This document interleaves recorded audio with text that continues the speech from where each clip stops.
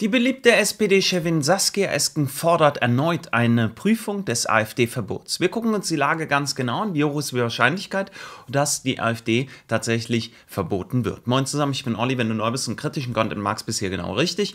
Und die Nachrichten überschlagen sich gerade mal wieder. Hier beispielsweise bei Apollo News sehen wir das Ganze. Esken will AfD-Verbot vorantreiben, heißt es hier. Oder bei der Welt. SPD-Chefin Esken will AfD-Verbot immer wieder prüfen. Ist das nicht interessant, dass zahlreiche Politiker sich dafür aussprechen, eine der größten und aktuell in den Umfragen auch zweitstärkste Partei deutschlandweit und in verschiedenen Bundesländern im Osten die stärkste Partei gerade dann ankommen, dass sie eben dieses Verbot fordern. Ein Schelm, wer Böses dabei denkt. Meiner Meinung nach hängt das Ganze natürlich miteinander zusammen. Wenn man auf der sachlichen Ebene, auf der argumentativen Ebene offensichtlich nichts dieser Partei entgegenbringen kann, möchte man halt verbieten. Und es erinnert mich auch ein bisschen an die Situation um das Tempolimit. Wir wissen um das Tempolimit, dass das immer wieder so der Wunschkandidat von verschiedenen Politikern ist, das aber wiederum dieses schon mehrfach im Bundestag abgelehnt mehrheitlich wurde und auch im Bundesrat mehrheitlich abgelehnt wurde, interessiert sie nicht. Sie fordern immer wieder eine erneute Prüfung, eine erneute Testanalyse, ähm, ob das Ganze doch noch integriert werden sollte, das Tempolimit, genauso wie mit dem AfD-Verbot. Wir fordern das einfach so lange, bis es irgendwann die Mehrheit findet. Genau so komme ich mir hier vor. Und das kann es doch nicht sein. Das hat doch von diesen angeblichen Demokraten und diesen demokratischen Parteien nichts mit Demokratie zu tun. So lange zu wählen, bis das Ergebnis stimmt, so lange zu fordern nach einem Verbot, bis endlich etwas verboten ist, was einem nicht gefällt. Es ist wirklich unfassbar lächerlich. Und dann sehen wir das Ganze hier. Die AfD eilt von Erfolg zu Erfolg. Wohl auch deswegen will SPD-Chefin Esken ein Verbot der Partei antreiben. Sie fordert erneut eine einen solchen Prozess gegen die AfD zu prüfen, wie es hier heißt. Und im Zitat sehen wir das Ganze dann hier. Ein Parteienverbot ist zwar mit hohen Hürden verbunden, aber ich bin überzeugt, dass wir dies immer wieder prüfen sollten. Sie betonte die Notwendigkeit, über ein Verbot der AfD zu diskutieren, um auch Wähler zu sensibilisieren. Ja, also ich bin auch für ein Parteiverbot definitiv von der SPD und von den Grünen, könnte ich jetzt sagen. Ich bin gegen, absolut gegen Verbote, Leute. Deswegen versteht mich nicht falsch. Aber das wäre das gleiche Niveau, wenn ich dieses jetzt fordern würde. Ich würde, ich fordere ein Verbot von Saskia Esken. Und ich fordere ein Verbot, dass Saskia Esken sich über Verbote auslassen darf. Was wäre denn das für ein Rechtsstaat, wenn so etwas verboten wäre? Natürlich, wenn in einer Partei solche Bestrebungen wären, die der Demokratie schaden, absolut legitim, keine Frage, dass so, wir so etwas nicht haben möchten und brauchen.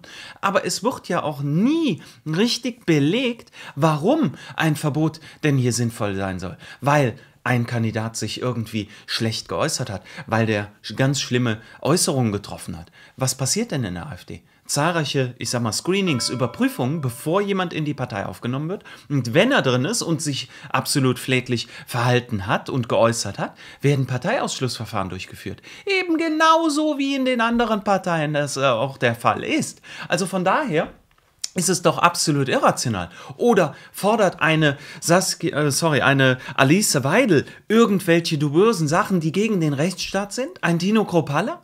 Wer macht das denn? Das ist doch absoluter Schwachsinn, was hier wieder versucht wird darzustellen. Aber wir sehen ja an den aktuellen Umfragen, dass viele Leute das nicht mehr hören können und wollen und sich davor auch nicht zurückschrecken lassen, diese Partei zu wählen. Wir sehen es in der aktuellen Umfrage. Ich habe ein Video dazu im Olli Redet Kanal gemacht. SPD fliegt aus Landtag in Sachsen und die AfD gewinnt in der aktuellsten Umfrage. Denn wenn wir uns das angucken, nicht ohne Grund bekommt die AfD in Sachsen 37 Prozent. Ein absolutes Wahnsinnsergebnis hier von Seaway gemacht worden für die sächsische DE.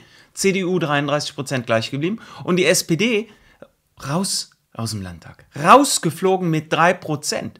Und vielleicht genau deswegen kommen jetzt gerade solche Verzweiflungsverbotsorgien die hier fordern, Mensch, es muss doch jetzt endlich mal verboten werden, so dass wir dann wieder besser dastehen, weil diese 37 Prozent würden ja nicht nicht wählen, sondern würden sich ja dann auf die anderen Parteien verteilen und dann wäre alles wieder gut und man könnte wieder in Ruhe kuscheln und gemütlich dem Steuerzahler Punkt, Punkt, Punkt über das Geld aus der Tasche ziehen.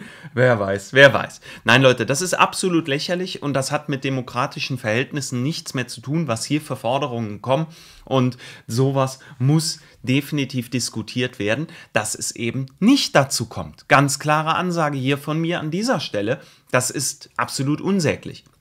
Wenn wir uns auch überlegen, dass das Ganze ja nicht nur von der SPD gefordert wird, sondern beispielsweise eben auch hier von dem Ostbeauftragten der Bundesregierung, sehen wir das ja ebenfalls. Und das ist halt schon wirklich unfassbar, wenn der ehemalige Ostbeauftragte ist er ja, der Wanderwitz von der CDU, das Ganze ebenfalls fordert. Hier Operation AfD-Verbot läuft auf Hochtouren, hatte ich das Video von einer guten Woche genannt geht zurück auf diesen Artikel hier bei Apollo News und da zieht man so verschiedene Parallelen bezüglich dem NPD-Verbot. Und Wer das nicht weiß, die NPD ist in Deutschland nicht verboten. Nein, aber aus einem gewissen Grund. Sie ist aus dem Grunde nicht verboten, zumindest laut dem Verfassungsgericht, weil man gar nicht die Gefahr gesehen hat, dass die Partei so viel Zustimmung bekommen könnte.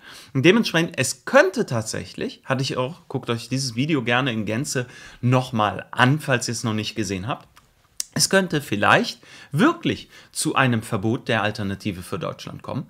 Insofern, dass das Bundesverfassungsgericht dann sagt, Okay, die muss verboten werden, weil die Wahrscheinlichkeit, dass sie sehr, sehr gut gewählt wird, dass sie sehr viel Zustimmung weiterhin bekommen wird, ist relativ hoch. Das hat man damals bei der NPD nicht gesehen und dementsprechend gar keine Gefahr gesehen, dass sie eine Gefahr für die Demokratie darstellt.